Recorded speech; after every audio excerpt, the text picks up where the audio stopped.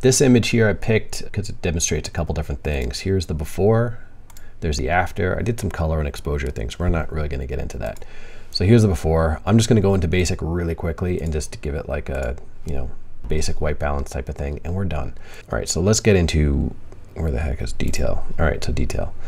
Here we see we've got you know part of this pathway, we've got part of this roller coaster, and we've got four different sliders for sharpening. First one is the amount, which is easy. It it basically is telling this thing look for any detail where or look for any color difference. So there's a gray here, white here, anything in between. I want you to increase um, you know, the contrast there. And what it does is, you know, it, the edge that's touching this like white beige thing, it'll make that a little darker. And then on the white edge touching the gray, it'll make just that edge a little lighter. Now to help see this, if you hold down the option on a Mac or Alt on a PC and move this slider back and forth, you can really kind of see what it's doing there. So you see how it's like kind of drawing a black line along the gray and then it draws like a like a lighter line um, you know along the white if I increase the radius, you could really see that. Okay, so you could really see what we're doing there. Um, this next thing, radius, which I just you know start playing with, um, think of this as like a pencil. So here's your really skinny pencil, which happens to be 0.5 uh, width of a pixel, and then this is a pencil that happens to be a radius of three pixels. And so when you go with the radius and you're basically telling Lightroom to go through and you know sharpen things, you're basically saying, okay, find things that, you know, have a color, there's a difference between a color, so this gray and, you know, this white, and use a thick pencil or a thin pencil to, you know, draw those lines. Detail is basically saying, okay, I see that you, you know, found those buildings, but look for anywhere where there's a difference. Now there's a little bit of noise in the street, so when you hold down option and you play with detail, you'll see how it'll like enhance all that noise. Now we don't want that. You know, basically I want to bring out detail on the roller coaster but I want to leave it in the street. So you could bring, or I, I want to leave the street alone. That's a better way to say it. So, you know, I'll bring this up so there's a little bit of little bit of noise going on in the street. That don't I'm okay with. Bring the radius down a little bit. Yeah, bring the sharpening down.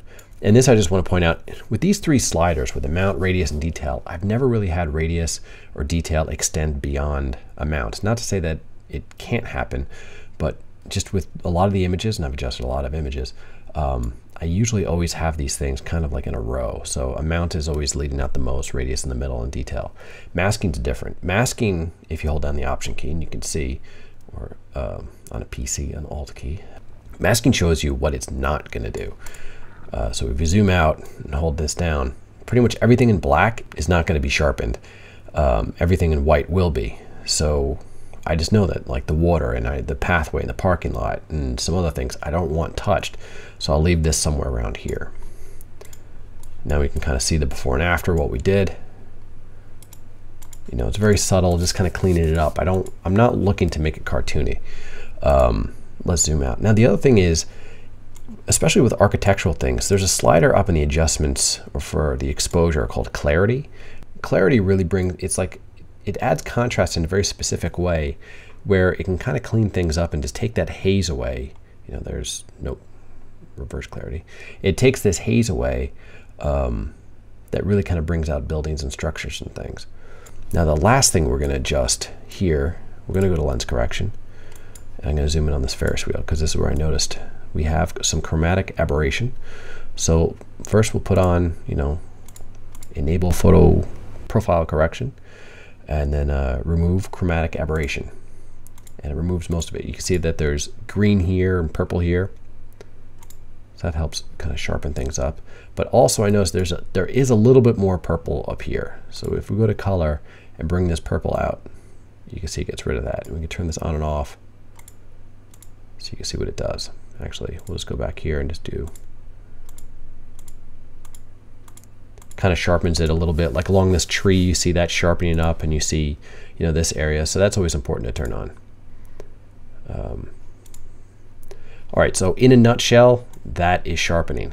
Now the second part of this detail panel is noise reduction, where basically you eliminate noise and then you eliminate some of that color noise blotchiness that happens, especially when you shoot at late at night. Uh, I'm gonna pick a different image just to go over that because this has a better example of some noise. The other thing I'm doing, I'm zooming in not just one to one, I'll zoom in three to one, just so I could really see what's going on. But you should always really be zoomed in on your image because if you're zoomed out, you're not going to see anything. So just starting out at one to one.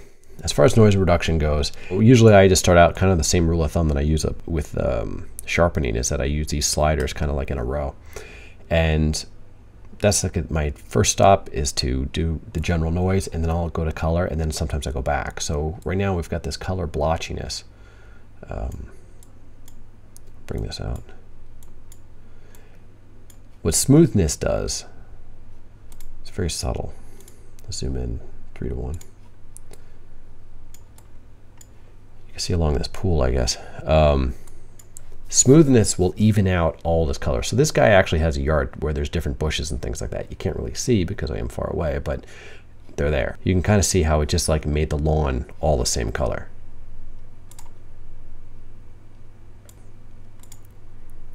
Sometimes you want that, sometimes you don't.